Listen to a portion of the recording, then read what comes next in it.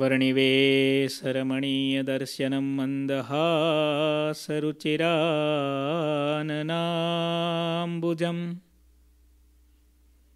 पूजितं सुरनरोत्तमेर्मुदा धर्मनन्दनमहं विचिन्तये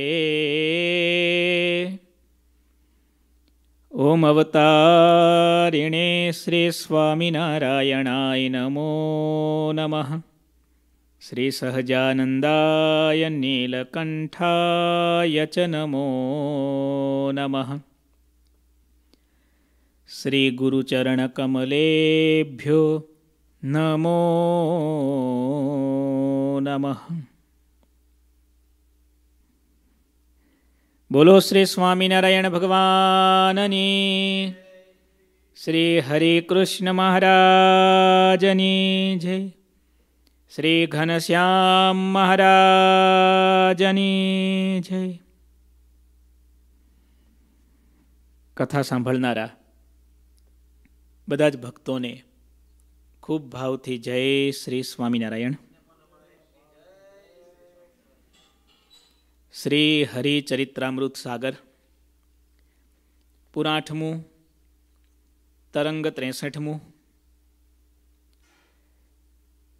ગુરુદેવ આધારાનંદ સ્વામી, આ તરંગમાં જોબન પગીની અદ્ભુત સ્વરૂપ નિષ્ઠા અને શુદ્ધ જ્ઞાન એનું વર્ણન કરે છે. આવો સાગરની આ સોનેરી વાતને આજે આપણે શ્રવણ કરીએ.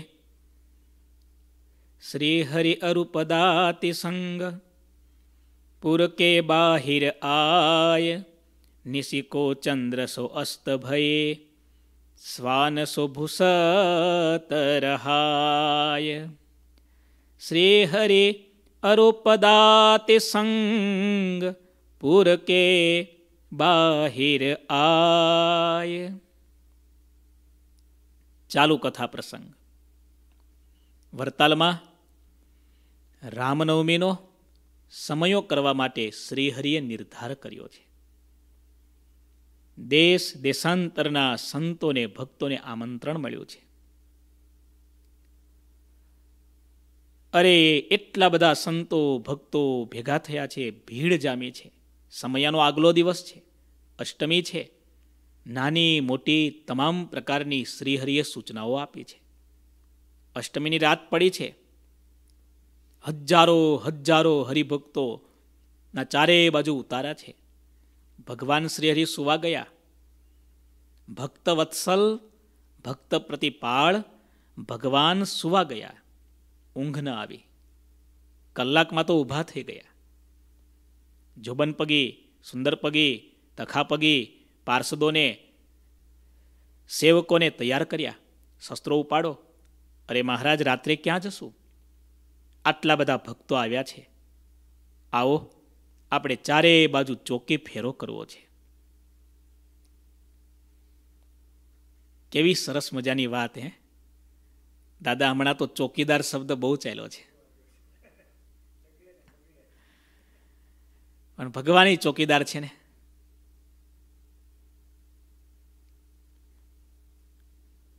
આમ તો સાચા ચોકીદાર ભગવાન જ કહેવાય ને. પળે પળે કરો પ્રતિપાળ જીવન જાણું છું. બીજો એવો કોણ દયાળ જીવન જાણું છું. કદાચ તમને ખબર હોય કે ન ખબર હોય દાદા. હિન્દીમાં ઉત્તર પ્રદેશમાં આપણે વ્યાસપીઠ કહીએ ને, આને પણ યુપીમાં ચોકી કહે. એટલે આના ઉપર પણ જે બેસે એને શું કહેવાય? ચોકીદાર. કારણ કે કથામાં બેઠેલા શ્રોતા એકાદ ઝોલું મારી લે તો ચાલે. પણ ચોકી પે બેઠા કોઈ ચોકીદાર, કોઈ સંત થોડું ઊંઘે તો ચાલે. અને એવા કોઈ વક્તા હોય કે વ્યાસપીઠ પર ચડી અને થોડું ઊંઘી લેતા હોય, એને શ્રોતાઓ સાંખી લે ખરા? ચોકીદાર શબ્દ ધમાલ ધમાલ કરી નાખી છે હમણાં.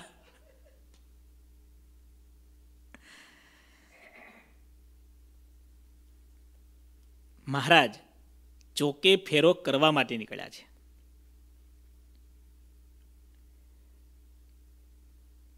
અને દરેક માણસે પોતાના જીવનમાં પોતાના ચોકીદાર પોતે બનવું જ જોઈએ. સાગરની જ આગળની કથાની વાત. મહારાજે કહ્યું, આટલો મોટો મેળાવડો છે. હજારો લાખો ભક્તો ભેગા થયા છે. કોઈનો ચાંદલો જોઈ, કોઈની કંઠી જોઈ, કોઈની મીઠી મીઠી વાતો સાંભળી, મોટા મોટા સંતો ભક્તોના નામ આપે, વિશ્વાસ ન કરતા, રાત્રે સુવા જાઓ, ચારે બાજુ ચોકી ફેરો કરનારા મારા પાર્ષદોને જોઈ, એનો પણ ભરોસો ન કરતા, પોતે પોતાનું ધ્યાન રાખજો. કેવી જોરદાર વાત. પોતે પોતાનું ધ્યાન રાખજો. જે પરાવલંબી બને, એ ક્યારેક અધોગતિને પામે. એનો ક્યારેક વિનાશ થાય. કેવી મહારાજે ભલામણો કરી. આ શાસ્ત્રોની વાતો આપણે વાંચીએ છીએ ને ખરેખર આપણને એમ લાગે આપણે ભાગ્યશાળી છીએ. આવી વાતો સાંભળવા, વાંચવા અને વિચારવા મળે છે ને, એ આપણા બધાનું અતિ મોટું ભાગ્ય છે. અમે આટલું બધું વિચરણ કરીએ, મોટા સમયાઓ કરીએ, કેટલી પધરામણીએ કરીએ, કેટલા મોટા મોટા ભક્તોના મોટા સ્વાગત, સન્માન, માન, પાન એ બધું મેળવીએ. એ બધું કર્યા પછી આ શાસ્ત્રોની વાતો જ્યારે વાંચીએ ને, ત્યારે દાદા એમ લાગે, કરવા જેવું જો કોઈ હોય તો આ છે. કયું? ગુણાત્યાનંદ સ્વામી કહે, ભગવાન અને ભગવાનના સાધુના મહિમાની વાતો નિરંતર કર્યા કરવી. આખી દુનિયામાં આગ લાગી છે. કેલિફોર્નિયામાં હમણાં આગ લાગી હતી ને? એવી ભયંકર આગ લાગી છે. આગ લાગે ને, ત્યારે આગ કેટલી છે, કેવી છે એ વિચાર ન કરાય. પછી તો આપણે બચીએ ને બીજું જેટલું બચે એને બચાવીએ, એ જ વિચાર કરવાનો હોય. એ માયાની આગ ચારે બાજુ લાગી છે. બળતો, જળતો આત્મા સંત સરોવર જાય, સત્સંગની લહેરમાં તરત ટાઢો થાય. અમે વિચરણમાં જઈએ, એટલા બધા દુખિયારા જીવો મળે, એટલા બધા દુઃખી લોકો મળે. બધાને અમે એક જ ભલાવણ કરીએ છીએ, આ પીવડા મહારાજના દર્શનનું નિયમ રાખો. મહાપૂજા વગેરે કરો, આ કથા સાંભળો. જીવનમાં કરવા જેવું આ છે. પણ કરવાનું જીવ નથી કરતો અને ન કરવાના નવ્વાણું ધંધા કરે છે. શું થાય પછી? ભગવાન શ્રી હરિ આટલા દયાળુ છે. આવા ભક્ત વત્સલ છે. સાંભળો. શ્રી હરિ અરુ પદાતિ સંગ. શ્રીહરિ બધા પાર્ષદો સાથે રાત્રે ગામની બહાર નીકળ્યા. ક્યારે? રાત્રે.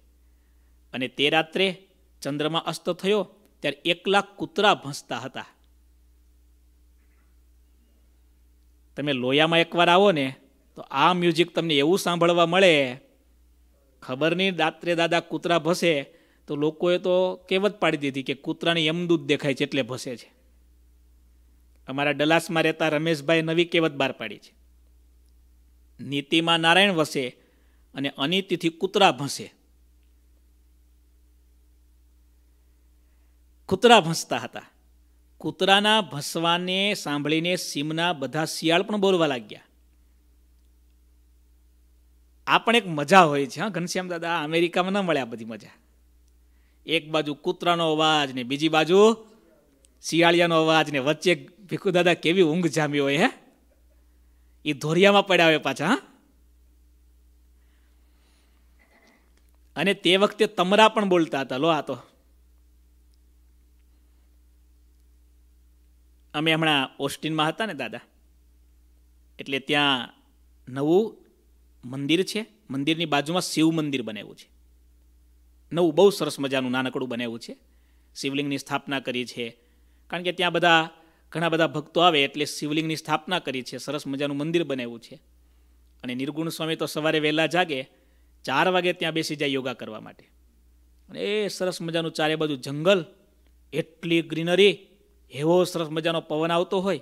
એક દિવસ હું પણ વહેલો જાગી બેઠો અને જે તમરા બોલતા હોય, પંખીનો કિલકલાટ સંભળાતો હોય અને તમે કલાક, બે કલાક ત્યાં બેસો ને ધ્યાન લગાવો ને. આ હા માણસનું કુદરતી જીવન ખલાસ થઈ ગયું એવું લાગે.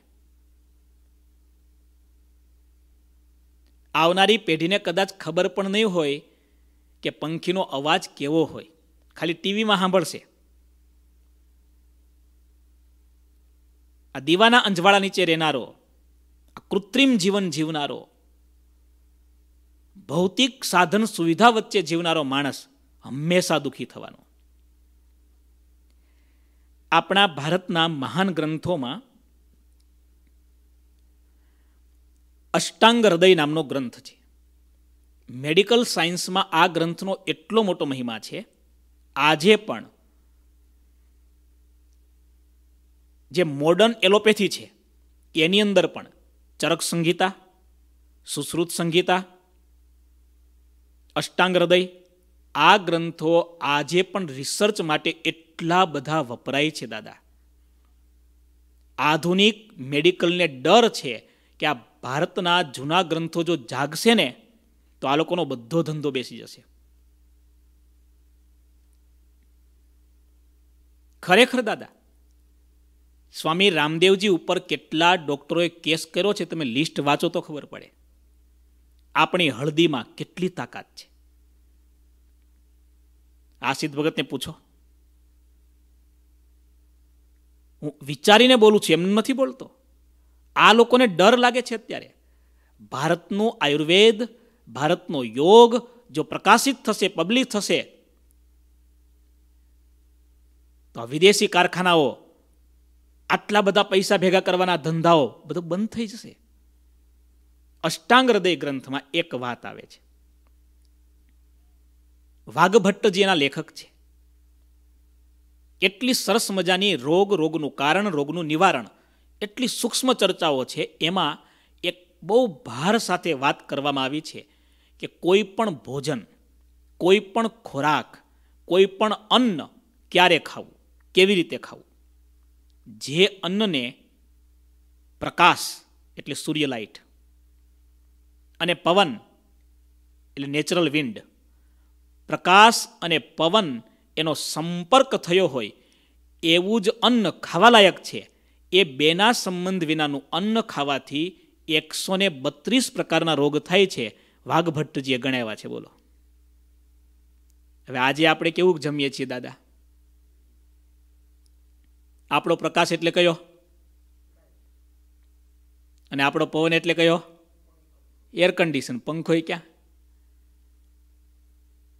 જીવનમાં થોડું નેચરલ જીવન જીવવું જોઈએ. હમણાં અમે વિચરણમાં હતા એક બે ભક્તોના એવા દર્દ સાંભળ્યા. પગના તળિયા એટલા ફાટે, એટલા બધા દુખે. પછી બાબુ કાકા સાથે મેં વાત પણ કરી. દાદાએ કીધું, બહુ નોર્મલ પ્રોબ્લેમ છે આ. માણસ જન્મે ત્યારથી કાર્પેટ પર જ પગ મૂકતો હોય સિપલ પહેરતો હોય, એના પગમાં એક્યુપ્રેશર થયું જ નથી. આપણા શરીરના બધા સંવેદન તંત્રો પગમાં અને હથેળીમાં સમાયેલા છે. જૂના સમયમાં ઉઘાડા પગે ખુલ્લી ધરતીમાં તમે ચાલો કાંકરા વાગે, ક્યારેક કાંટો પણ વાગે. બરાબર દાદા? ઓટોમેટિક એક્યુપ્રેશર થઈ જતું દાદા. અને હવે તો? ઘણા માણસના ગાલ અને પગ તળિયા પગના તળિયા બે સરખા હોય, બોલો. જન્મમાં ત્યારથી જ ક્યાં મૂક્યો હોય પગ? કાર્પેટ ઉપર જ રાખ્યો હોય. નેચરલ જીવન ખરેખર જીવવું જોઈએ. અભ્યાસ કરવો જોઈએ. ક્યારેક તક મળે તો તાપમાં બેસીમાં શું બીમાર થવાના? થોડી ધૂળ ઉડે શું તકલીફ થવાની? ક્યારેક પંખીનો અવાજ સંભળાય શું તકલીફ થવાની? આ તો વાત એટલા માટે. કથાનો પ્રસંગ છે, તમરાનો અવાજ, શિયાળનો અવાજ, હવે અમેરિકામાં ક્યાં સંભળાય? આ તમરા સંભળાય હજી હા? અમે ટેક્સાસમાં હમણાં જ સાંભળીને આવ્યા. કુદરત તો બધી જગ્યાએ એક સરખી જ છે. સૃષ્ટિ આખી દુનિયાની એક સરખી છે. ધરતી કાળી છે, આકાશ નીલું છે, આખી દુનિયામાં એક સરખું જ છે. જે ભેદ છે ને માણસમાં છે. આવો સરસ મજાનો અવાજ આવતો હતો. તે વેળાએ શ્રીહરિએ પાર્ષદની સામે જોયું અને બોલ્યા, અમે એકલા જ ઘોર વનમાં આઠ વર્ષ સુધી ફર્યા છીએ. અને અમને લેસ માત્ર પણ કોઈનો ક્યારેય ડર લાગતો નહીં. અંધારી રાત હોય અને તમે બહાર એકલા નીકળો. આજના જેવા રોડ, રસ્તા, લાઇટ આ કશું ના હોય. આખું આકાશ ઝગમગતું દેખાતું હોય. અને દાદા, પછી છે ને આ બધા તમરાનો અવાજ, શિયાળિયાનો અવાજ એ જો સાંભળે ને તો આજના લોકોને તો ઝાડા પેશાબ છૂટી જાય. આ લાગે. ઘનઘોર વનમાં જતા ને એવું લાગે. એટલે મહારાજે વાત માંડી, દરબારો, અમે આઠ વર્ષ સુધી એકલા વનમાં ફર્યા છીએ. આઠ એટલે સાત વર્ષ એમ. અંદાજિત મહારાજ બોલ્યા છે ને એટલા માટે. અમને લેસ માત્ર પણ કોઈનો ક્યારેય ડર લાગતો નહીં. જંગલી હાથી અને સિંહોની સાથે અમે ફરતા. માત્ર અગિયાર વર્ષની ઉંમરે અમે ઘર છોડ્યું હતું. આ તો પરબ્રહ્મ પુરુષોત્તમ નારાયણ છે ને એટલે કરી શકે. બીજાનું કામ નહીં, હા. બાલ યોગીન્દ્રના જેવો અમારો વેશ હતો. ત્યારે જોબન પગીએ કહ્યું, હે પ્રભુ, આપ તો ભગવાન છો. એટલે આપને વળી કોનો ભય હોય? પાતાળથી લઈને પ્રકૃતિ પુરુષ સુધી જગતમાં જે જે પ્રાણી કહેવાય છે, તે તો સર્વે તમારે આધીન છે. અરે આવા તો અનંત અને અપાર બ્રહ્માંડો છે, તેનો કોઈ પાર પામી શકાય તેમ નથી. તે બ્રહ્માંડોમાં જે દેવ, દાનવ, દૈત્ય, રાક્ષસ, ભૂત, પ્રેત અને મનુષ્ય, આદિ તેમજ પશુ, પંખી આદિ અને સ્થાવર અને જંગમ જીવજંતુઓ અને જળ અને ચેતન છે તે સર્વે તથા જળમાં રહેનારા જંતુ, આકાશમાં રહેનારા જંતુઓ તથા અણુ જેવા કે મહાન કહેવાતા હોય તે સર્વેમાં જીવ રહ્યો છે અને એ બધા જીવ આપને આધીન છે. કોને આધીન છે?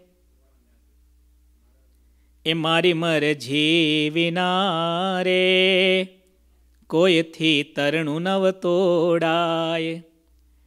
એમ મને જાણજો રે, મારા આશ્રિત સહુ નર. નાર આપણા શાસ્ત્રોમાં વાત છે, થોડું આપણે ઊંડાણથી વિચારીએ. દુનિયાના તમામ ગ્રંથોમાં વાતો છે. ઇવન ઇસ્લામ ક્રિશ્ચિયાનિટી યહૂદી ધર્મ, બધા દુનિયાના ધર્મો આ સ્વીકારે છે. મારે એક નાની વાત તમને એ કહેવી છે કે અત્યારનું ભૌતિક સાયન્સ પણ મોટા ભાગના સાયન્ટિસ્ટો આનાથી નજીક આવી ગયા છે. કેનાથી? Man supposes, God disposes. દાદા હમણાં ચાર હજાર માણસો ઉપર અમેરિકામાં એક યુનિવર્સિટી દ્વારા અભ્યાસ કરવામાં આવ્યો. કે ખરેખર પ્રેયર કરે છે લોકો? એનાથી કંઈ પ્રોબ્લેમ સોલ્વ થાય છે? અલગ અલગ ઉંમરના, અલગ અલગ રોગના, અલગ અલગ માણસોને પસંદ કરાયા. ચાર હજાર જેટલા માણસોને ઘણા સમય સુધી સર્વેમાં રાખ્યા, અનેક પ્રકારના ટેસ્ટ કરાયા. એ લોકોએ તપાસ એ કરવો હતો, એક સમાજ એવો હતો કે જે રોજ પ્રેયર કરનારો હોય, પ્રાર્થના કરનારો હોય પૂજા કરનારો હોય. એક સમાજ એવો હતો કે ક્યારેય મંદિર ન જતો હોય, ક્યારેય ચર્ચમાં ન જતો હોય, ક્યારેય પ્રાર્થના ન કરતો હોય, ક્યારેય પૂજા ન કરતો હોય. અને પરિણામ શું મળ્યું ખબર દાદા? જે પ્રાર્થના કરનારો સમાજ છે, પૂજા પાઠ કરનારો સમાજ છે, તે સમાજમાં પેલા સમાજ કરતાં એંસી ટકા રોગ ઓછા અને રોગ થવાની શક્યતા પણ ઓછી. કેટલા ટકા? વિચાર કરો તમે. આપણે આ પ્રાર્થના નથી કરતા.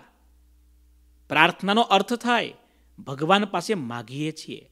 પ્રભુ, એ પ્રભુ, તમે છો મારા જીવન રથના સારથી. મહારાજ, આ જીવન હવે તમને સોંપું છું. તમને યોગ્ય લાગે એવો નિર્ણય કરજો. અંતે કર્મના ફળ પ્રદાતા પુરુષોત્તમ નારાયણ છે. જે કંઈ થઈ રહ્યું છે, હું ઘણીવાર કથામાં વાત કરું છું એટલે આજે રિપીટ નથી કરતો. હવે તો નાસાની અંદર પણ ભગવાનની પ્રાર્થના પહેલી પહેલાં કરાઈ છે. અમે હ્યુસ્ટનમાં નાસાનું જે મેઇન સેન્ટર છે, એ બે વખત જોવા ગયા છીએ. પૂજ્યપાદ ગુરુજીની સાથે પણ ગયા છીએ. એપોલો થર્ટીન એના ઉપર અમેરિકામાં મૂવી બની ગયું છે. નાસાના સાયન્ટિસ્ટો આજે ભગવાનમાં કેટલો વિશ્વાસ કરે છે? આપણી બુદ્ધિથી, આપણા બળથી, આપણી શક્તિથી બલમનો મે બુદ્ધેર નચ દ્રઢ વૈરાગ્ય વિલસન નિજાત્મક જ્ઞાનસ્ય પ્રચુર નિયમાનામ અપી વિભો. વિમોક્તુમ સંસારાન નિરતિશયમેકમ હિ બિરુદમ વિલોક્ય સ્વેયમ મામ ભવજલ નિધે રુદ્ધર વિભો. આપણી બુદ્ધિનું બળ, આપણા પૈસાનું બળ, આપણી શક્તિનું બળ આપણા સર્ટિફિકેટનું બળ કોઈ બળ કામ નથી લાગવાનું. કારણ કે આ સૃષ્ટિના નિયામક કોણ છે? ભગવાન છે. આ સૃષ્ટિ કોની મરજી પ્રમાણે ચાલે છે? ભગવાનની મરજી પ્રમાણે. ઇંગ્લેન્ડના કેન્યુટ નામના રાજા થયા. અતિ પ્રતાપી રાજા હતા. એવું કહેવાય છે, સાંભળજો, કે વિદેશના રાજાઓ જૂના સમયમાં મુગટ પહેરતા. આપણા રાજાઓની જેમ સોનાના મુગટ વગેરે. Canute was the last king કે જેણે મુગટ નીચે મૂકી દીધો, પછી ન પહેર્યો. પછી એ પરંપરા ચાલુ થઈ, એટલે આજે વિદેશના રાજાઓ, તમે જુઓ તો હવે કોઈ મુગટ નહીં, મૂછો નહીં, બધું કાઢી નાખ્યું, દાદા. બાકી જૂના રાજાઓ મૂછો રાખતા, મુગટ પહેરતા, સોનાના ઘરેણાઓ પહેરતા, તલવાર રાખતા, ઘોડાઓ રાખતા, ને હવે તો આ તો આપણે હસવાનું નથી, બાકી. કેન્યુટ મહાપરાક્રમી મહાપ્રતાપી રાજા, એની આસપાસ માણસો હોય, પ્રશંસા કરનારા હોય, રાજાઓની આસપાસ તો રહેતા, એમાં ખુશામદ કરનારા પણ હોય. આવા ખુશામદ ખોરોની ટોળી વધવા લાગી. કારણ કે મોટા માણસોએ હંમેશા, આમ તો દરેક માણસોએ હંમેશા, યાદ રાખજો, લખવા જેવું છે. નિંદા એટલા માટે સારી હોય છે કે નિંદા ઓલવેજ પ્રામાણિક હોય છે. નિંદા ઓલવેજ પ્રામાણિક હોય છે. એમાં બાયસ નથી હોતું. અને પ્રશંસા એ દરેક માણસોએ ડરવું જોઈએ, કારણ કે પ્રશંસા કયા આશયથી કયો માણસ કરે છે એ ક્યારેય કોઈ ઓળખી નથી શક્યું. કેન્યુટ ઇંગ્લેન્ડનો મહાન રાજા ખુશામદ ખોરો વધવા લાગ્યા. રાજા વિચક્ષણ હતો, એને ખબર પડી ગઈ. ત્યાં સુધી પ્રશંસા કરે, અરે મહારાજ, આખી દુનિયામાં તમે કહો એમ થાય છે. તમારા સિવાય કોઈ કોણ કરનાર છે? એક દિવસ રાજાને થયો, હવે આ લોકોને પાઠ ભણાવવો પડશે. દરિયા કિનારે બધા મંત્રીઓને લઈ પહોંચ્યા. ત્યાં કહ્યું, આ સભાનો પડાવ નાખો. પૂનમનો દિવસ હશે. પૂનમમાં તો ભરતી ચડે ને બરાબર. દરિયાના કિનારે રેતીના તટમાં મોટું સિંહાસન, મોટી ચાદરો પથરાણી, ચારે બાજુ કારભારી ઊભા થયા. રાસ રચાલો, હવે રાજાની આજ્ઞા થાય કેટલી વાર? જાણે રાજ મંડપ હોય રાજ દરબાર હોય, આવો દરબાર દરિયાના કિનારે રેતીમાં જામી ભાઈ અને જેમ જેમ સમય જવા લાગ્યો, ભરતી ચડવા લાગી. અને ભરતી નજીક આવી. રાજા ઊભો થઈ ગયો. સોનાનો મુગટ માથે હતો. બૂમ પાડી, હે દરિયાના મોજાઓ, મારી આજ્ઞા છે ખબરદાર જો આગળ વધ્યા તો. અટકે બધા માણસો બેઠા હતા. બધાને કીધું, ખબરદાર જો ઊભા થયા છો કોઈ. અને ભાઈ મોજા વધ્યા એવા વધ્યા, રાજા ના પાડતો રહ્યો. એવું મોટું મોજું આવ્યું, માણસો તો બધા પડી ગયા. રાજા પડી ગયો, માથેથી મુગટ પડી ગયો. રાજાએ ઉભેલા ખુશામદ ખોરોને કહ્યું, જુઓ, તમે મને રોજ કહો છો. તમે કહો એમ પવન ફરે, તમે કહો એમ આકાશ ચાલે, તમે કહો એમ પૃથ્વીમાં થાય. અરે મૂર્ખાઓ આ સાગરનું પાણી એ પણ મારું સાંભળવા તૈયાર નથી. દુનિયાના કોઈ પણ મહાન વ્યક્તિ યાદ રાખવા જેવી વાત છે કે મારા કરતાં પણ એક મહાન તત્વ મારી માથે બેઠું છે, આ વિચાર જે માણસ ભૂલી જાય એની મહાનતા ક્યારેય પણ શોભતી નથી. રાજા કેન્યુટે આ પ્રસંગ પછી કાયમ માટે ઇંગ્લેન્ડના ઇતિહાસમાં યાદ રહે એટલા માટે પોતાનો મુગટ નીચે મૂક્યો, આખી જિંદગી પહેર્યો નહીં દાદા. આ વિદેશના રાજાઓ આવા નીતિમાન હતા, જેના કારણે આજે વિદેશોમાં નીતિમત્તા, પ્રામાણિકતા એનું ધોરણ દેખાય છે. ભારતમાં ભૂતકાળમાં એવો સમય હતો. અત્યારે વર્તમાનમાં થોડો સારો સમય છે. માટે હું કહેવા એ માગું છું, કેવી સરસ જોબનપગી વાત કરે છે. પ્રભુ, જળચર, સ્થળચર, નભચર જે કંઈ છે, આ બધાના નિયામક તો તમે છો. તમને પ્રભુ ક્યાંથી ડર લાગે? આપ જેવું ધારો તેમ થાય છે. અત્યારે અમને આવી તમારી પ્રતીતિ છે. માટે અમે માનીએ છીએ. તમને કોઈનો ડર ક્યાંથી લાગે? તમે તો સદા નિર્ભય છો. હવે જોબન પગી એક વાત કરે છે બધાએ સાંભળવા જેવી છે. થોડા સીધા બેસી જાઓ. કારણ કે આવી વાત અમે કેમ જાણીએ છીએ? ભાઈરામદાસ સ્વામી અહીં વડતાલમાં રહ્યા હતા અને તેમણે અમને સમજાવીને આપના સ્વરૂપનો આવો નિશ્ચય કરાવ્યો છે. સંતરે વિના સાચે કોણ કહે? કેવી વાત છે. અમે તમને ઓળખીએ છીએ, પણ કોને લીધે? ભાઈરામદાસ સ્વામીને લીધે. સ્વામી આવી જે જે વાતો કરે તેમને પૂરેપૂરી મનાતી. કારણ કે, કેવી સરસ એક એક લાઈન જુઓ. અમે તમને ઓળખીએ છીએ. કારણ કે ભાઈરામદાસ સ્વામી ઓળખાણ કરાવી છે. ભાઈરામદાસ સ્વામી જે વાતો કરતા બધી અમને મનાતી. શા માટે મનાતી? સાંભળો, કારણ કે તેમનું વર્તન જ એવું હતું કે સહુને તેમનામાં પ્રેમ થતો અને એમની વાતમાં વિશ્વાસ બેસતો. શું એવું હતું? વર્તન. શું હતું એવું? ઘણા માતા પિતા ઘણા માતા પિતા તમારામાંથી પણ ઘણા બધા હશે. માફ કરજો, હું તમારી વાત નથી કરતો, પણ ઘણા માતા પિતા ફરિયાદ કરે, સ્વામી, દીકરાને કહો ને કંઈક. અમે હસતા હસતા કહીએ, ભગત, આટલું તમારે કહી દેવાનું.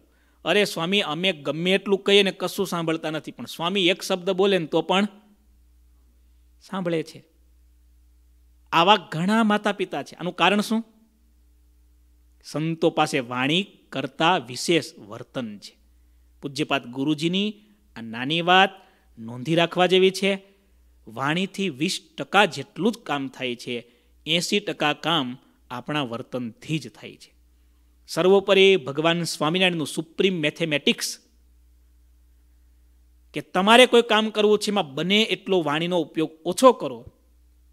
જરૂર પડે એટલો કરવો પડે. હમણાં થોડા સમય પહેલાં કથામાં મેં બહુ સરસ વાત કરી હતી. જે દુનિયાના જેન્યુન માણસો છે એના ઇન્ટ્રીઓનો બેઝ સાર શું છે? સાંભળો જાજુ, બોલો ઓછું. જરૂર પડે એટલો વાણીનો ઉપયોગ કરો, બાકી તમારા વર્તનથી, તમારા બિહેવિયરથી સામેવાળાને સમજાવવા પ્રયત્ન કરો. કોઈ કેટલું સરસ લખ્યું છે? તુમ્હારે ઉચ્ચારણ કી નહીં, તુમ્હારે ઉદાહરણ કી જરૂર હે. સમજાય છે ને દાદા? આ રાજા કેન્યુટે માથા ઉપરથી મુગટ નીચે મૂકી દીધો. એની પ્રજા ઉપર કેવો ભાર પડ્યો હશે દાદા? કેવો ભાર પડ્યો હશે? આપણા દેશના એક જાગતા ચોકીદારે અત્યારે આખા દેશને કેવો ચોકીદાર બનાવી દીધો છે? કેવો ચોકીદાર બનાવ્યો છે? વર્તનવાળો વ્યક્તિ, વાસ્તવિકતામાં જીવનારો વ્યક્તિ આ કામ કરી શકે, ક્રાંતિ લાવી શકે. કેવી ક્રાંતિ? દેશની અંદર આવી ક્રાંતિ બહુ ઓછી આવી છે. દેશભક્તિનો જુવાળ છે. હું કહેવાય માગું છું, વાણી કરતા વર્તન હંમેશા મહાન રહ્યું છે રહ્યું છે અને રહ્યું છે. ભાઈરામદાસ સ્વામી જે બોલતા એ વાત તમને મનાતી કારણ કે તેમનું વર્તન એવું હતું, તેમનામાં સહુ કોઈનું મન ખેંચાતું, એમની વાતમાં વિશ્વાસ બેસતો, તેમનામાં વચન સિદ્ધિ રહી હતી તેથી તેઓ જે જે કહે તે ત્યારે જ સત્ય થતું અને દેખાતું. સત્ય થતું એવું દેખાતું. એક વખત અમે જ્યારે સ્વામીને પૂછ્યું કે, સ્વામી, આવી વચન સિદ્ધિ આપને ક્યારથી મળી? ત્યારે તેમણે કહ્યું કે, આત્માનંદ સ્વામી અને રામાનંદ સ્વામીની મેં જે સેવા કરી હતી તેના પ્રતાપથી. સિદ્ધિ બે પ્રકારની. એક સિદ્ધિ આવે પણ પચે નહીં. કોને? અહંકાર જન્માવે તેને. અહંકારી વ્યક્તિના ઉદરમાં સિદ્ધિ સફળતા પચતી નથી. આંબામાં જેમ કેરી આવે એમ આંબો ઝૂકતો જાય. એમ સજ્જનને, સંતને જેમ સદગુણ મળે, સફળતા મળે, સિદ્ધિ મળે, એમ એ વધારે ભવંતી નમ્રાસ્તરવ ફલોદગમય કેવું સરસ શાસ્ત્રમાં લખ્યું. સંત અને અસંત, બંનેને સિદ્ધિ મળે, બંનેમાં સફળતા આવે, બંનેમાં સદગુણ પણ આવે. રાવણની ભક્તિ વધી એટલે અહંકાર વધ્યો. અને હનુમાનજીની ભક્તિ વધી એટલે દુષ્ટમાં પણ ભક્તિ હોય. દુષ્ટમાં પણ જ્ઞાન હોય. મારી વાત યાદ રાખજો, સજ્જનમાં અને દુર્જનમાં સફળતા હોય વિદ્યા વિવાદાય ધનમ મદાય શક્તિ પરેશામ પરિપીડનાય જ્ઞાનાય દાનાય ચ રક્ષણાય બધું જ હોઈ શકે. ભૂલી જાઓ. એટલા માટે હરિચરિત્રામૃત સાગરમાં ભગવાન શ્રીહરિની સર્વોપરી કરેલી આ વાત યાદ રાખવા જેવી છે. દોષ માત્ર હોય, પણ એક ગુણ હોય. કયો? નિર્માનીપણું. મુક્તાનંદ સ્વામીએ પ્રશ્ન પૂછ્યો છે સાગરમાં કે મહારાજ, આટલા બધા સદગુણો છે. એટલા બધા સદગુણો લાવતા કેટલો સમય લાગે? કંઈક દયા કરો, એવા ગુણ અમને બતાવો કે જે ગુણ આવે એટલે બીજા ન હોય તો પણ ધીરે ધીરે કે વેલા મોડા આવે. પહેલા નંબરનો સદગુણ મહારાજે કયો ગણાવ્યો? સરળતા. કયો? નિર્માની બનો બી પોલાઇટ. B positive. કેવું સરસ સૂત્ર છે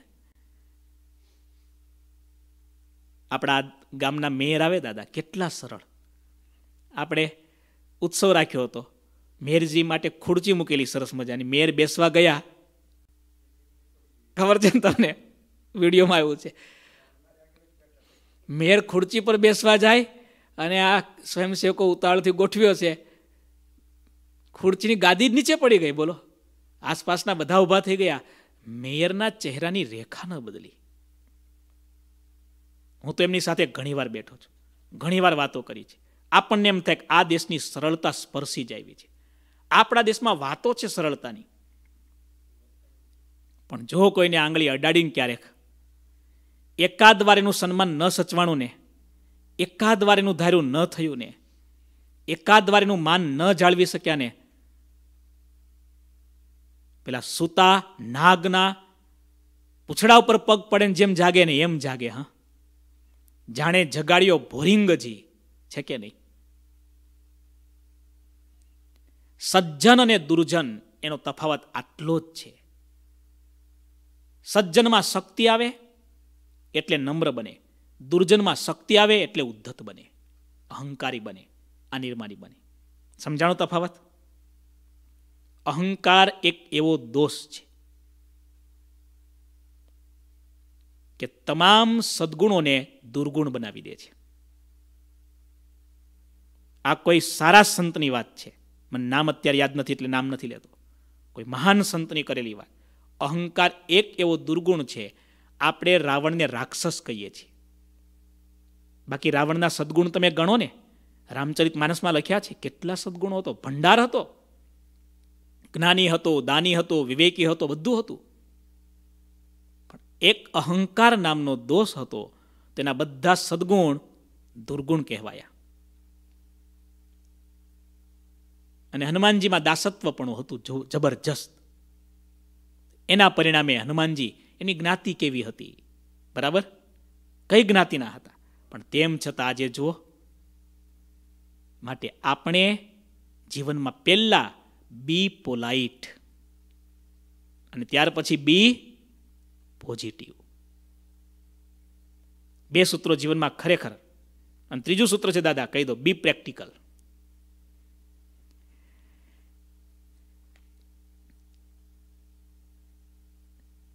આટલી મોટી વચન સિદ્ધિ મળી છતાં રામદાસ સ્વામી કહે છે, મારા ગુરુ આત્માનંદ સ્વામી, મારા ગુરુ રામાનંદ સ્વામી, એની સેવાથી, એની કૃપાથી મળી છે. અને જ્યારે મને સહજાનંદ સ્વામી મળ્યા, ત્યારે તેમની કૃપાથી વચન સિદ્ધિ મળી છે.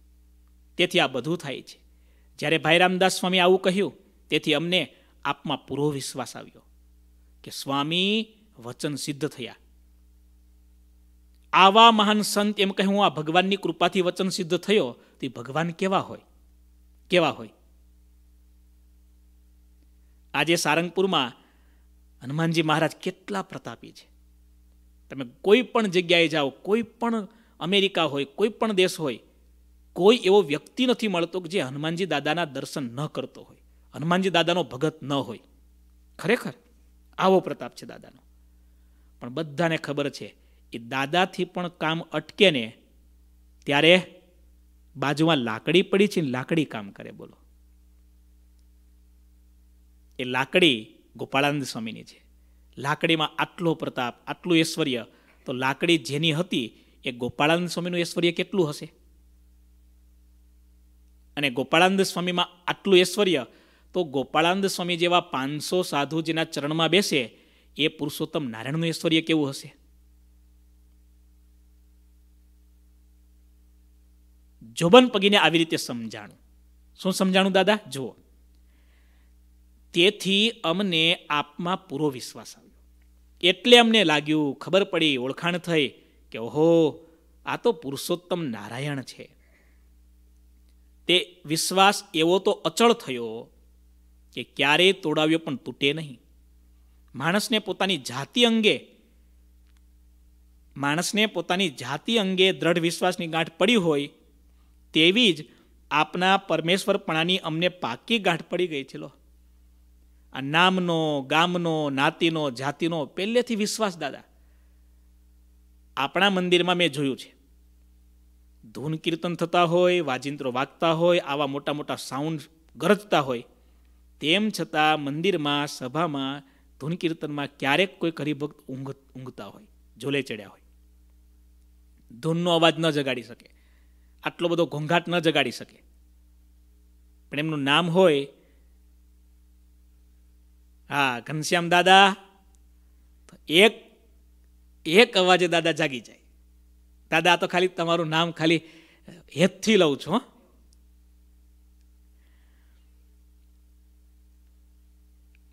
સુસુપ્તિ અવસ્થામાં ગયા પછી પણ આત્માની અંદર એક ગાંઠ પડી ગઈ છે. કઈ ગાંઠ? કે મારું નામ આ છે. નામનો, ગામનો, નાતીનો, જ્ઞાતિનો કેવો ભરોસો? કેવો ભરોસો? હવે આ સાચું છે કંઈ? આ કશું સાચું છે? કશું સાચું નથી. આત્માનું કોઈ નામ છે? આ મારા સંતોના નામ બબ્બે વખત પાર્ષદ થાય ત્યારે બદલે, સંત થાય ત્યારે બદલે. ઘણી વખત તો કોઈને કોઈ જૂના નામ યાદ પણ ન રહે, વર્ષો પછી એવી, એ પણ દશા થાય છે. આ બધું આપણા મનની અંદર માઇન્ડ સેટ છે. આપણે મનથી ગાંઠ વાળી આ મારું નામ એટલે વળી ગઈ. ખોટી હતી છતાં વળી ગઈ. બસ એવી સાચી ગાંઠ વાળવાની છે. કઈ? આ મહારાજ સિવાય બીજો કોઈ ભગવાન નથી, આવી ગાંઠ વાળવાની છે. અને આવા સાધુ બ્રહ્માંડમાં ક્યાંય નથી. આવી ગાંઠ વાળવી પડશે, આ ગાંઠ જ્યારે વળી ગઈ ને, ત્યારે સમજો આપણો બેડો પાર થઈ ગયો. કેટલું સમજવાનું છે? કેટલું સમજીશું? સમજી સમજીને છેલ્લો છેડો આટલો જ છે. આટલો જ છે. ઘણી વાર કથામાં વાત કરું છું. દાદા ભરોસા જેવી કોઈ ભક્તિ નથી. વિશ્વાસથી મોટી કોઈ વિધિ નથી. શરીરમાં શ્વાસ જેટલા કિંમતી છે ને, અધ્યાત્મ માર્ગમાં વિશ્વાસ એટલો જ કિંમતી છે, એટલો જ કિંમતી છે. તમારે અને મારે ક્યાં વિશ્વાસ કરવો ને વિચારવાનું છે. મેં વાત કરી હતી મહાભારતની. ભગવાન વ્યાસ કહે છે, જ્યાં વિશ્વાસ કરવો જોઈએ ને, ત્યાં જીવ વિશ્વાસ નથી કરતો ને એ જીવ પ્રાણી માત્રના દુઃખનું મોટામાં મોટું કારણ છે. મેં હમણાં જ વાત કરી. એક હરિભક્ત નવા હતા, સંતો સાથે મળ્યા, નજીક આવતા થયા, હેતપ્રીત થઈ, વાતોચીતો કરતા થયા, અને દુઃખની વાત શરૂ કરી એટલે અમે સહજ કહ્યું, આ રવિવાર ચૌદ એપ્રિલ ભગવાન સ્વામિનારાયણનો બસો ને આડત્રીસમો પ્રાગટ્ય દિવસ. ભગવાન રામચંદ્રજીનો જન્મદિવસ. આવું પવિત્ર મુહૂર્ત આવો સારો સમય. એમાં રવિવારના દિવસે ભગવાન પ્રગટ થયા. મંગળવારે મહારાજનો જન્મદિવસ આવ્યો હોત, તમે કોઈ રજા પાડો એવા નથી અમને ખબર છે. પાડે પણ બહુ ઓછા પાડે, આટલા બધા ન પાડે. આ તો રવિવારના દિવસે મહારાજનો પ્રાગટ્ય દિવસ, સારામાં સારું મુહૂર્ત, તો આપણે રજાનો દિવસ છે, હોલીડે છે, હોલી એટલે પવિત્ર દિવસ છે, ભગવાન માટેનો દિવસ છે, ભગવાન માટે એકવાર તો વાપરીએ. તો શું કહે દાદા? કે મારે આ રવિવારે જ બહાર જવાનું છે. ક્યાં? બેબી સાવરમાં લો. હવે બેબી સાવરમાં ન જાય તો બેબી જન્મશે જ નહીં કોઈ. હવે બેબી સાવરમાં જઈશ તો બેબીની કૃપાની સાવર થશે અને ભગવાનના સાવરમાં આવશો તો? તો ભગવાનની કૃપાનો વરસાદ થશે. તમારે નક્કી કરવાનું છે. ભગવાન વ્યાસ કહે છે, જ્યાં વિશ્વાસ કરવો જોઈએ, ત્યાં વિશ્વાસ નથી કરતો. એ જ જીવ પ્રાણી માત્રના દુઃખનું મોટામાં મોટું કારણ છે. વિશ્વાસ ક્યાં કરવાનો છે? એક મહારાજમાં. અને એક મહારાજના એકાંતિક સત્પુરુષમાં. કેવો વિશ્વાસ કરવાનો છે? આ ભગવાન સિવાય બીજો કોઈ ભગવાન નથી. આવા સાધુ બ્રહ્માંડમાં ક્યાંય નથી. આ જોબનપગી વાત કરે છે. કેવા બધા જોબનપગીના બધા વડતાલના કેવા ભક્તો છે? એક બે નાની વાત તમને સંભળાવી દઉં. પૂજ્યપાદ ગુરુજીનો તો જીવનનો સાર જ એટલો છે. સર્વોપરી મારો એક મહારાજ છે. પૂજ્યપાદ ગુરુજી એટલે ઉપાસનાની મૂર્તિ. પૂજ્યપાદ ગુરુજી એટલે સ્વરૂપ નિષ્ઠાનું જીવતું જાગતું સ્વરૂપ. પૂજ્યપાદ ગુરુજી એટલે એમ કહી શકાય ગુરુજીના જીવનનો સાર એટલો. સર્વોપરી તો મારો એક મહારાજ છે. આપણા આદિગુરુ મુક્તાનંદ સ્વામી. મુક્તાનંદ સ્વામી વિશે બોલનારા ગમે તેવું બોલી નાખે છે, એને ખબર પણ નથી હોતી. એવા લોકોની સામે કેટલો તર્ક કરવો. પણ તમને બધાને બે હાથ જોડીને વિનંતી, કોઈ મુક્તાનંદ સ્વામીનું, અરે કોઈ ગોપાળાનંદ સ્વામીનું, અરે કોઈ ગુણાત્યાનંદ સ્વામીનું, મહારાજ કાલીન નંદ સંતોનું કોઈ અલ્પ માત્ર પણ ઘસાતું બોલે ને, એને તીખા બાણ જેવા વચન મારવા જોઈએ. વચનામૃત પ્રમાણે બોલું છું. આટલો મને દ્વેષ નથી વચનામૃતમાં મહારાજે કહ્યું, તીખા બાણ જેવા વચન મારવા. આજના હાવ મવાલી માણસો અને આવા મોટા નંદસંતો વિશે ગમે તેમ સ્ટેટમેન્ટ આપે અને લોકો તાળીઓ પાડનારા પાછા. બે સમાજ મૂરખ છે. આપણાથી થાય તો જવાબ આપીએ અને આપણાથી ના થાય તો ઊભા થઈને ત્યાંથી નીકળી જેનું મોઢું જોવાનું બંધ. મુક્તાનંદ સ્વામી કેવા સંત હશે. શ્રીજી મહારાજ ગાદી ઉપર બેઠા. નવો નવો સત્સંગ હતો. એકવાર મહારાજે મુક્તાનંદ સ્વામીની પરીક્ષા કરી. આમ તો એવું કહેવાય, લખ્યું નથી, પણ મહારાજે કહ્યું કે, સ્વામી, તમને નખ ઉતારતા આવડે છે? મુક્તાનંદ સ્વામી એટલે ભગવાન શ્રીહરિ કરતાં કેટલી ઉંમર મોટી, આવા મહાન સંત, રામાનંદ સ્વામીના અગ્રગણ્ય સંત. મહારાજે પૂછ્યું, સ્વામી, તમને નખ ઉતારતા આવડે છે? અને મુક્તાનંદ સ્વામી એટલા બધા રાજી થયા. અરે મહારાજ મને ખૂબ સરસ ફાવે છે. આપ જો આજ્ઞા આપો, આપની આ સેવા હું કરું. અને મુક્તાનંદ સ્વામી મહારાજની પાસે બેઠા, એટલા બધા પ્રેમથી શ્રીજી મહારાજના નખ મુક્તાનંદ સ્વામી ઉતારવા લાગ્યા. બરોબર એ જ સમયે આનંદજીભાઈ સંઘેડિયા દર્શન કરવા આવ્યા. એના મનમાં ગડમથલ ચાલુ થઈ. આનંદજીભાઈએ મુક્તાનંદ સ્વામીએ નખ ઉતારી લીધા, એકાંતમાં મળ્યા. ત્યારે સ્વામીને કહ્યું, સ્વામી તમે શું કરો છો? તમે તો અમને કહેતા હતા કે આ રામાનંદ સ્વામી સિવાય બીજો કોઈ ભગવાન નથી. તમે તો અમને નિશ્ચય કરાવ્યો હતો કે હથેળીમાં આખું બ્રહ્માંડ દેખાડે તો પણ રામાનંદ સ્વામી સિવાય કોઈ ભગવાન ન હોઈ શકે. અને સ્વામી, તમે રામાનંદ સ્વામી કરતાં કોટું, કોટી ઘણું હેત દેખાડી અને આ સહજાનંદ સ્વામીના નખ ઉતારો. મુક્તાનંદ સ્વામીએ કહ્યું આનંદજી ભાઈ આ વાત એમ સમજાવી નથી. બેસો બેસો. સ્વામી, આખી વાત સંભળાવી. કે હું તો આ સત્સંગ છોડીને ચાલ્યો હતો. ગુરુદેવ રામાનંદ સ્વામી પ્રગટ થયા. મને કહ્યું મુકુંદ દાસ અમે ઘણીવાર કહ્યું હતું, અમે ડુગડુગીના વગાડનારા છીએ, ખેલ ભજવનાર આવી રહ્યો છે જો અમારી વાતમાં વિશ્વાસ હોય, અમારામાં વિશ્વાસ હોય, તો આ સહજાનંદ સ્વામી એ અમારા પણ ભગવાન છે. અમે તો એના દાસના દાસ છીએ. અનંત રામાનંદ જેની સ્તુતિ કરે, એ આ ભગવાન સ્વામિનારાયણ છે. પકડી લો એનું ચરણ મુક્તાનંદ સ્વામી આખો પ્રસંગ સંભળાવ્યો આનંદજી ભાઈ, સાંભળતા રહ્યા સાંભળતા રહ્યા, પણ દાદા, આમ વિશ્વાસની ગાંઠ પડવી કંઈ સહેલી થોડી હોય છે. એ તો ભાઈ મુક્તાનંદ સ્વામી કોઈક હોય, એક શબ્દે એક વચનમાં ગાંઠ ખુલી પણ જાય અને એક વચનમાં ગાંઠ વળી પણ જાય. આનંદજીભાઈએ વળી પાછું સ્વામીને પૂછ્યું કે, સ્વામી, રામાનંદ સ્વામીનું ઐશ્વર્ય તો આપણે અનુભવ્યું હતું, જોયું હતું, જાણ્યું હતું. એ તો પ્રગટ પરબ્રહ્મ હતા. પણ આ શ્રીજી મહારાજને આપણે ભગવાન માનીશું તો પાપ નહીં લાગે ને. શું કહ્યું? અને ત્યારે મુક્તાનંદ સ્વામી બોલ્યા આનંદજી ભાઈ મારામાં તો વિશ્વાસ છે ને. હા, સ્વામી, પૂરેપૂરો. બસ, તો હું તમને કહું છું કે, તમને જો પાપનો ડર હોય ને તો આખા બ્રહ્માંડનું પાપ મારા માથા ઉપર આવે, પણ આ ભગવાન સ્વામિનારાયણ, એના સિવાય બીજો કોઈ ભગવાન નથી. ત્યાર પછી આનંદજીભાઈ સંઘેડિયાને નિશ્ચય થયો. કેવી રીતે સંતો નિશ્ચય કરાવતા? ભાઈ રામદાસ સ્વામીએ આવી રીતે નિશ્ચય કરાવ્યો હતો. નિશ્ચય એટલે દ્રઢ વિશ્વાસ,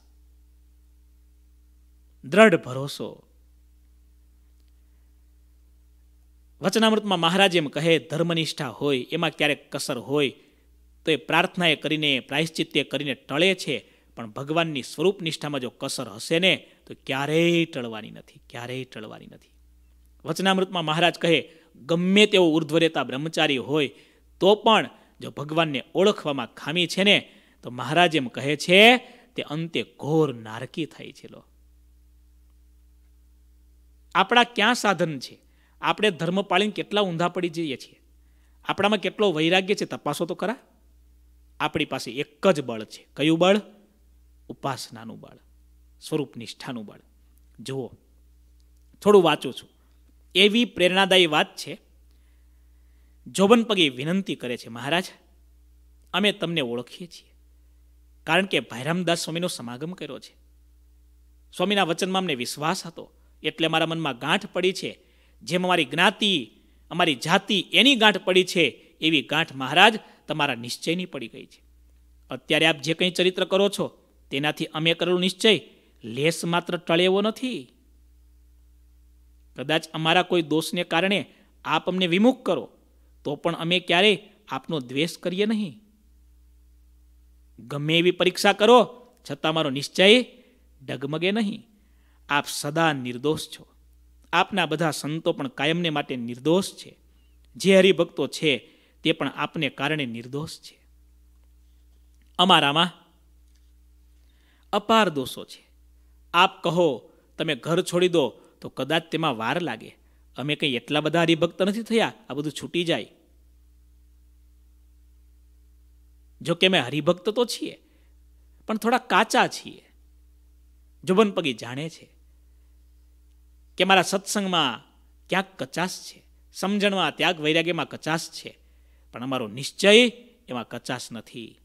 અમારા વિશ્વાસમાં કચાશ નથી. અમારા ભરોસામાં કચાશ નથી. તમે ને હું, આપણે પણ સાધન જાજા નહીં કરી શકીએ. અમે સંતો આટલા ધર્મનિયમ પાળીએ છીએ ને, તેમ છતાં અમે અનુભવીએ છીએ, આપણા ધર્મના બળે, ભક્તિના બળે, જ્ઞાનના બળે, વૈરાગ્યના બળે કલ્યાણ નથી કલ્યાણ કેવળ ને કેવળ ઉપાસનાના બળે છે. સ્વરૂપ નિષ્ઠાના બળે છે. ભગવાનના આસરાના બળે છે. એટલી સરસ કલ્યાણના માર્ગે કામ લાગે એવી અતિ મુદ્દાની, અતિ મહત્વની આ વાત છે. હજી તો ઘણી લાંબી વાત ચાલવાની છે. આપણે ઉતાવળથી પૂરી કરીશું. એના કરતાં સોળ ચોપાઈ સુધીની વાત અહીં આપણે અટકાવીશું. આગળની વાત આવતીકાલે બોલો ઘનશ્યામ મહારાજની જય. શ્રીપતિમ શ્રીધરમ સર્વદેવેશ્વરમ ભક્તિધર્માત્મજમ વાસુદેવમ હરે માધવમ કેશવમ કામદમ કારણમ સ્વામિનારાયણમ નીલકંઠમ ભજે.